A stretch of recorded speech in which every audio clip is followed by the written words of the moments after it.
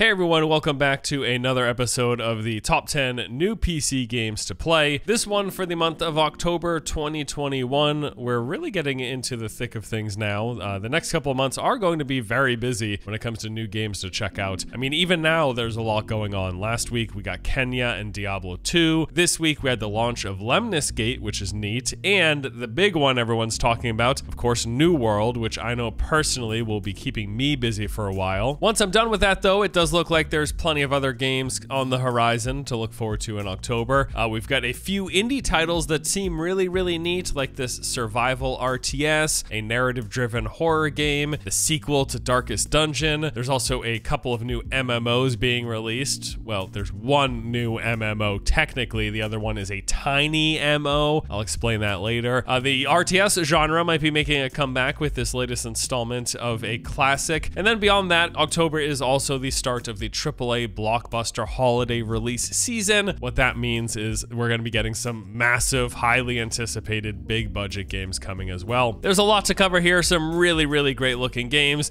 and we'll get into that right after a word from today's sponsor. Today's video is sponsored once again by the immersive sci-fi space MMO EVE Online. This is the same game you often hear about due to its massive large-scale PvE and PvP battles. In fact, they have quite literally set a few Guinness World Records with the scale of these things. It's kind of insane, actually. But beyond that, the big battles, EVE offers plenty of other things for you to do. You can explore its thousands of star systems, engage in the game's various politics, piracy, and of course trading, as it does feature a player-driven economy. If you've ever been interested, now is one of the best times to jump into the game. EVE's most recent quadrant update called Gateway brought with it an overhaul new player experience, introduced improvements to the skill system, along with skill plans, which are meant to help guide you through some of the important early game decisions to make sure you don't make any big mistakes. Jumping into EVE for the first time right now will take you through a brand new story driven training experience. This is much more immersive and detailed than anything they've had in the past, and is mainly aimed at just helping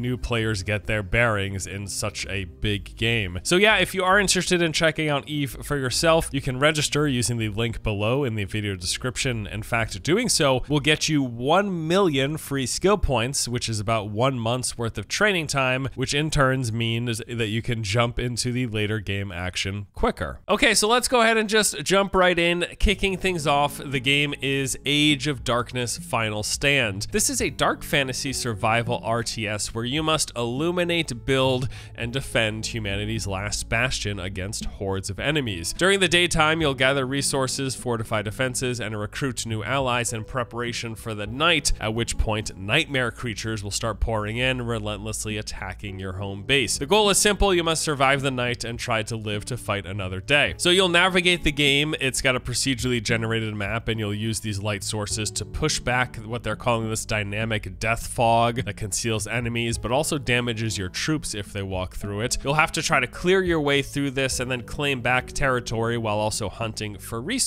You'll then use those resources to build defenses back at your home base. Uh, the game will run on a day-night cycle that transitions with time. So basically, you're just fighting the clock in preparation for nightfall. And then once night comes, the attack begins. These enemies, which are called nightmares, there's a wide assortment of them that'll just start pouring in. They're the basic swarmers, but also special units like the spitters, the crushers, and the race, each of which will require their own unique strategies to fight. And you'll face what they call overwhelming numbers of enemies. They're leveraging this internally developed technology, which they refer to as swarm tech. Apparently, get this, they say that the game can render over 70,000 enemy units on screen at one time. You heard me correctly, 70,000. Now, I don't think I see 70,000 in any of this footage, but it's certainly a large number, and either way, it's pretty impressive. Um, the game will feature these roguelite mechanics with these malices and blessings. Malices are random afflictions placed on the player. However, if you survive the night, you'll get to choose from one of three randomly selected blessings, which will make you stronger. There's also this champion system. You'll be able to micromanage these powerful, unique heroes with special abilities that can help you turn the tide of battle. These will level up, getting stronger, and then letting you select from their very own skill trees. To go along with that, though, the enemy also has their own elite roaming champions, and you can fight these to gain special resources. All in all, this is a pretty neat sounding game, and I do think it looks decent as well. Now, it's worth noting here, though, that the developer is a company by the name of PlaySide,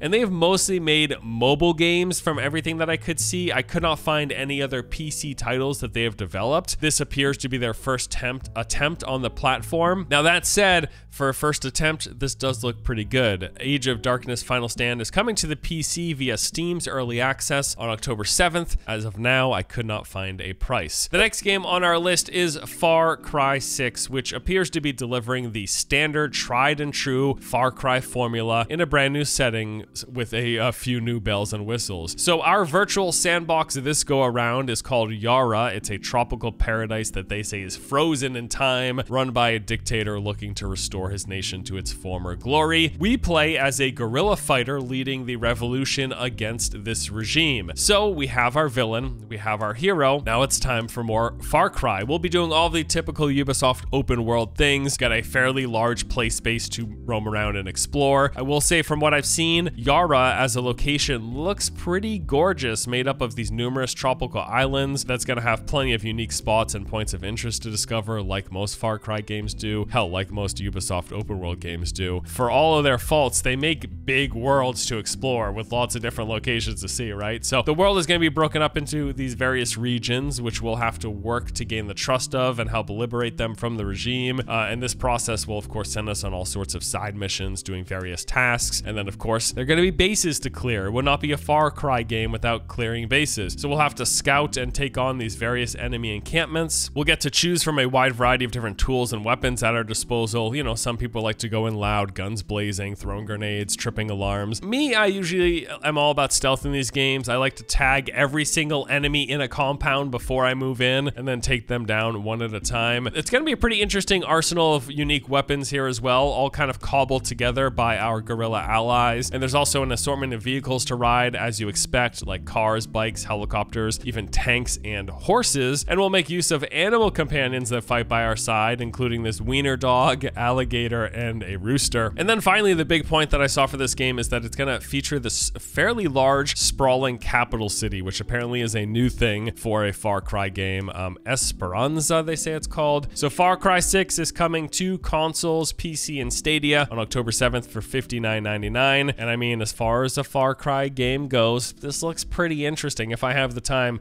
I think I'd like to give this one a look. Next on our list is Book of Travels. I've talked about this a few times in the past, but let me give you guys a recap. This is an atmospheric online RPG that takes place in this hand drawn fairy tale inspired world. It's pulling from genre classics. They say this game lacks the restraints of linear missions and plot lines, instead, giving players the liberty to travel the free wilds and vivid cities, stumble upon hidden places, and unravel mysteries on their own. There is no overarching goal, there's no one set in stone narrative. It's all about how you go across it, how you explore, what you discover, and enjoying the world for its own sake. Basically, they say they want players to experience an adventure that does not hold their hand. Now, they're also calling Book of Travels a TMORPG or Tiny Multiplayer Online RPG, where you will occasionally run into other real players who are also on their own adventure. And at that point, you can choose if you want to work with and play together or just continue on your adventures by yourself. Some of the game's major features include over 20 forms to choose from, kind of like classes, but not really. So there's a detailed character creator that mainly focuses on personality and identity rather than stats or classes like traditional RPGs. You can choose to be a danger seeking adventurer,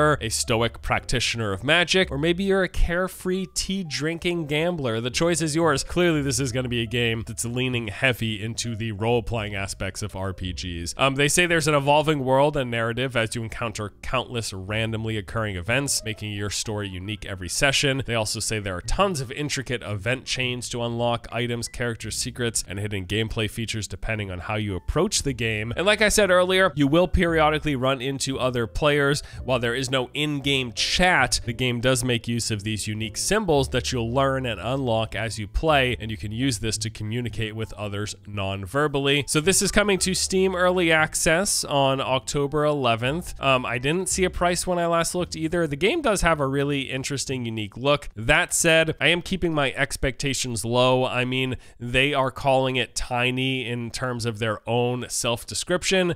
So I'm going to keep my bar of expectations set at this is going to be a tiny game, whatever that ends up meaning. Moving on, next up is Back 4 Blood, the four player co op first person zombie shooter from Left 4 Dead creator Turtle Rock Studios. I played the beta for this earlier this year and overall had a decent time. There were some rough edges for sure, but ultimately it was fun taking down zombies with my friends. Uh, we get a look at a few co op campaign missions, which were the highlight for me, and some of the PvP, which was not a highlight. I'll touch on why in a second. But yeah, this is a four player co-op first-person zombie shooter. That's the basics. It's made up of those two primary modes, the co-op campaign, where you play through these handcrafted missions that each take place in unique locations with their own narrative, objective, progression, and encounters. So you'll start off in a staging area where you set up your equipment and load out from the weapons and, and items you have to what cards you pick, which are basically like passive bonuses. And then you start the mission moving through the level, fighting off the Ridden, which are the zombies, taking part in special events, and battling bosses. Now, you'll be able to replay these on various difficulty levels, and there's a director AI system which dynamically makes things more challenging depending on how you play. And then there's the PvP. This is called Swarm. It's a 4 vs 4 cleaners vs ridden round based mode. Matches are in a best of 3 format with each team of 4 taking turns playing as the cleaners and the ridden. Now, when I played the PvP,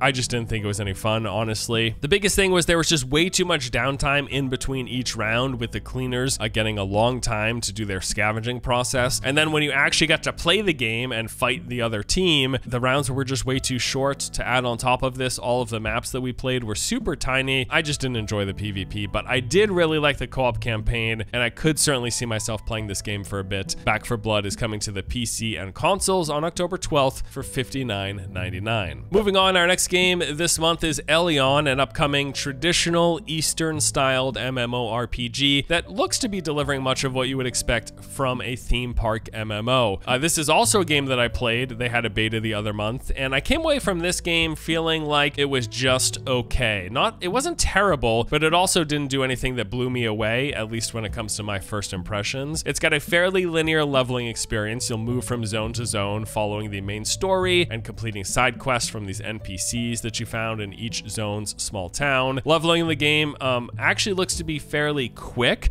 I think I got to level 30 in just one afternoon of playing the beta. The game does feature an action combat system similar to TERA. In fact, I don't have much TERA experience, but people say it's nearly identical. Basically, the style here is that you use these AoE and cleave attacks to take down big groups of enemies. And I thought combat was genuinely the strong suit from when I played it. It felt really good. It was responsive. There were nice animations and feedback. I can certainly see um, why people would enjoy this game just for the combat alone. Now, outside of that, Elyon also ticks all of the typical standard content boxes. It's got dungeons, raids, there are world bosses, there's a housing system. In terms of PvP, there are arenas, battlegrounds, open world RVR. Like I said, it has most of what you expect out of a theme park MMO, including a cash shop. It sure as hell has one of those. Now, like I said, I played Elyon. I thought it was okay. I do think that their decision to the delay the game a few weeks was smart because originally it was supposed to come right after New World. Changing that was a good idea. New World has really taken off. It's super popular right now. But odds are, by the time Elyon comes out in a few weeks, some people will be moving on, possibly me included. So Elyon is launching on the PC on October 20th. Now, originally the game had a base price of $29.99. However, they have changed that and decided to go free to play. I don't know what this means for their cash shop. They said it's not going to change. It wasn't really especially good in the first place. But hey, you know what? It's a new free to play MMO for people to check out. So if you're tired of New World by October 20th, you'll have something else to, to to give a look at least. Next up, we've got the Dark Pictures anthology House of Ashes. Now, as the name implies, this is part of a series. There's the standalone cinematic branching horror games where the decisions you make determine the story and the outcome of the game. Now, this is the third installment of eight total games that are planned for this anthology. House of Ashes in particular takes place at the close of the Iraq War, where the special forces that were hunting for weapons of mass destructions unearth a buried Sumerian Temple containing unearthly creatures. They say here, in order to survive the night below, they must forge a brotherhood with their enemies from the world above. Ooh. So it's a cinematic branching horror game that's all about the decisions you make in each moment. And again, these are severe decisions, life or death situations, quite literally. So you'll navigate this underworld and fight your way through the buried Sumerian temple against these hordes of deadly monsters. The game will feature the two critically acclaimed multiplayer modes from their prior games. You can either share the story online with a friend or you can play offline with their five player pass the pad mode. Now, the first two games in this anthology were fairly well received. They've got pretty good Steam reviews last I looked. Personally, I haven't played either one of these. Um, I don't know how much like story driven horror games are really my thing, but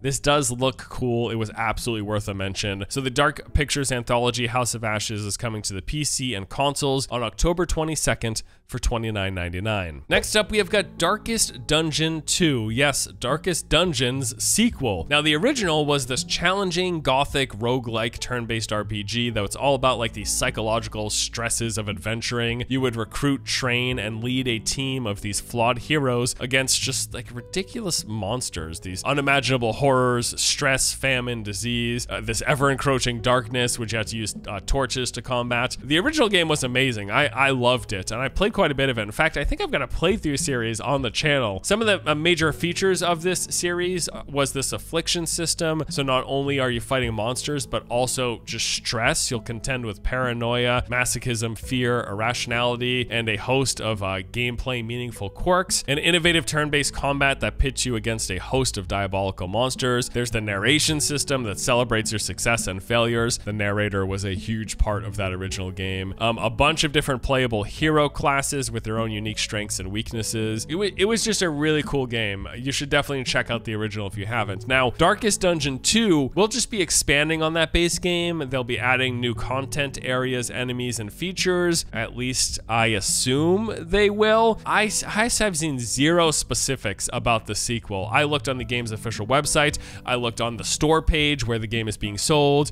I looked on all of the YouTube videos released for their, this game. I didn't see any specifics in terms of what's new and what they're adding. Normally, I try to provide a lot more depth when it comes to my discussion of these games every month. I had a really, really hard time finding specifics about Darkest Dungeon 2, but because I liked the original Darkest Dungeon so much, I'm just going to assume they're just like taking that game and making it better. So Darkest Dungeon 2 is coming to early access on PC on October 26th. I haven't seen a price yet. Uh, this one also is going to be an Epic Store exclusive. I know for some people that's a deal breaker, so I just wanted to let you know. All right, moving on to the eighth game for this month, we have got Solar Ash. This is a stylish 3D platformer set in a large open world where we play as a void runner trying to save her homeworld. Now, this is the second game from Heart Machine, the studio that made Hyper Light Drifter, a very critically acclaimed indie title. And it's for that reason alone that I think there's some pretty high expectations for Solar Ash. So this game will be plunging us into a surreal, vivid, and highly stylized world filled with these wild, high-speed, traversal, endearing characters, and massive enemy encounters. This game is all about movement. You can glide, jump, you have a grappling hook, all of this letting you quickly traverse and navigate this environment. They say that combat in the game is going to be simple, fast, and fluid, designed to encourage flowing from one action to the next. In fact, from the gameplay footage I saw, it looks like you're just never stopping moving. You're just doing combat as you're traversing the world. Uh, this game has an amazing look to it. I love the style, I love the character design in the world, and like I said, because it's from the studio that made Hyper Light Drifter, I think expectations here are pretty darn high. Solar Ash is coming to the PC and PlayStation consoles on October 26. No price at the moment, and this one is also going to be an Epic exclusive for now on PC. Next up, we've got Age of Empires 4, and boy, am I pumped for this one. I played the stress test the other week and had a blast. I made a full video talking about this, uh, and like I've said in that video and others, honestly, if you had told me that this was just like a updated version of Age of Empires or Age of Empires 2, I would have believed you. Playing this game felt like how I remember playing those games as a child, but regardless, I had a good time. Uh, it, it has the tried and true RTS experience, meaning you start off with one main base and some workers, and then you set them out harvesting resources, you scout for the enemy, gather more resources, start building up homes, military stuff, uh, get some upgrades, amass a huge army, and attack your enemy. It is that kind of an RTS. It's also a big, big part of this is base building, setting up your walls, moving through the ages, all that stuff. Now, according to the game's Steam page, some of the notable features of Age of Empires 4 include familiar but also innovative new ways to play. The game's going to support 4K. There's going to be eight civilizations with four campaigns and 35 missions to play through. They're going to have mod support in early 2022, and there's of course multiplayer. You can compete, cooperate, or spectate with up to seven players in various modes. And evidently, the game's going to have a tutorial to teach the basics of RTS. And yeah, Age of Empires 4, I played it, I had a great time, and I'm really looking forward to it. This will be launching on October 28th, and um, I don't know why I don't have a price listed here. I'm guessing it's $60. All right, and then finally, our 10th game on the list is Riders Republic. This is an open world extreme sports game. It takes place in a huge, seamless open world that is set in these iconic national parks that are all mashed together for this seamless exploration. You'll be coming across other players in the world, and you can team up with them to compete in these wide range of modes like downhill racing, team versus team competition, or large scale competitive races. Key features include this huge social play space from the snowy mountains to arid canyons. You can ride through numerous well known locations, all of these faithfully transposed and mashed up together to create and allow for seamless exploration between these locations. Really cool, actually. There's also going to be a, a vibrant social hub, they say, that you can gather in and meet other players. Cooperative and competitive modes. There's competitive racetrack and trick challenges available in PvP, co-op, and solo. Uh, mass starts, where they say up to 50 plus players can race with no limits. Community jams, also a large-scale event. Multiplayer arenas with like 6 vs 6 team PvP matchups. There's also going to be online cups uh, with uh, leaderboards. There's going to be customization in this game where you can create your rider and you can also specialize with this progression-based gear system. They also say that apparently the game is going to run on next-gen consoles at 60 FPS while having more than 50 players simultaneously. I know PC Master Race players are to be like, haha, 60 FPS, but honestly, with 50 simultaneous players on the screen, I do think that's pretty impressive. Uh, Riders Republic is coming to the PC, consoles, and Stadia on October 28th for $59.99. All right, so those are the 10 most interesting, best looking games, in my opinion. A couple other noteworthy additions that didn't quite make the list. Alan Wake is getting a remaster, apparently. That's pretty cool. I'm actually, I am looking forward to that. Uh, Crysis is getting a remastered trilogy, also like Alan Wake. That's pretty exciting news. And then lastly, Guardians of the Galaxy. I was actually going to put that on this list until I found out that it was a single player only game. So not only do I not really care about Guardians of the Galaxy as like an IP, I also don't really care for single player only games. So it couldn't, it just couldn't make my list. But I'm sure a lot of people are excited for that. People like Guardians right? People like Guardians. Anyways, that does it for this month's 10 best new PC games to play list. Um, there's a lot on here that I am really looking forward to playing. Now, in the meantime, I'm going to be hopping back into New World to play the game some more well, I'm going to be hopping into the queue to wait around some more. It's been a little rough. You'd figure if anyone could have stopped like MMO launch week server login times, it would have been Amazon, but apparently not. They're still having issues. Anyways, overall, I'm enjoying the game. I'm going to be playing a bunch more New World, and I'm hoping to do some coverage in the footage if I can gather all my thoughts. Maybe I'll do like a review style video. We'll see. But thank you for watching this video. As always, appreciate your support. Hope you enjoy the content, and I'll see you in the next one. Take it easy.